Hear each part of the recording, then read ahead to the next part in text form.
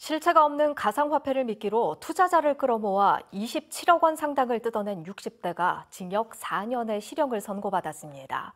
피해자 수백 명이 적게는 수백에서 수천만 원을 잃었는데 어떻게 속을 수밖에 없었는지 이용주 기자가 판결문을 분석했습니다.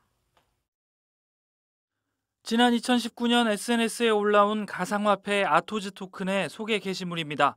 본사가 러시아 모스크바에서 설립됐고 영국 런던 등 전 세계에 지사가 있다며 사물인터넷, 인공지능, 블록체인 기술로 하루 1% 수익률로 100일 만에 원금이 보장되고 500일이면 5배 수익을 얻는다고 설명합니다. 한국 지사장 61살 A씨는 이렇게 고수익을 보장해 준다며 투자자들을 끌어모았습니다. 하지만 모두 거짓말이었습니다. 아토즈 토큰은 가상화폐 기능이 아예 없었고 회사는 새로운 회원의 투자금을 받아 기존 투자자에게 수익금을 돌려주는 식의 일종의 돌려막기식으로 사기를 벌였습니다.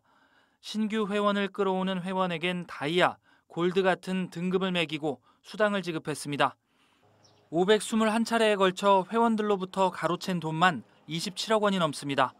울산지법은 사기 혐의 등으로 기소된 A씨에게 징역 4년을 선고했습니다.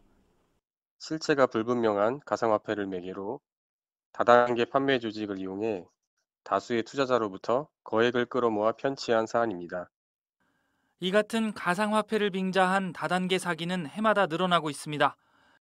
실제 금융감독원이 접수한 가상통화 사기 사건은 2016년 27건에서 지난 2019년 92건으로 3배 이상 급증했습니다. 고수익을 보장해 준다거나 아니면 원금을 보장해 준다거나 하는 그런 설명이 있을 때는 특히 주의가 필요하다고 하겠습니다. 금융감독원은 금융정보분석원 홈페이지에서 합법적인 가상화폐 회사인지 알 수 있다며 투자 전 확인을 당부했습니다. MBC 뉴스 이용주입니다.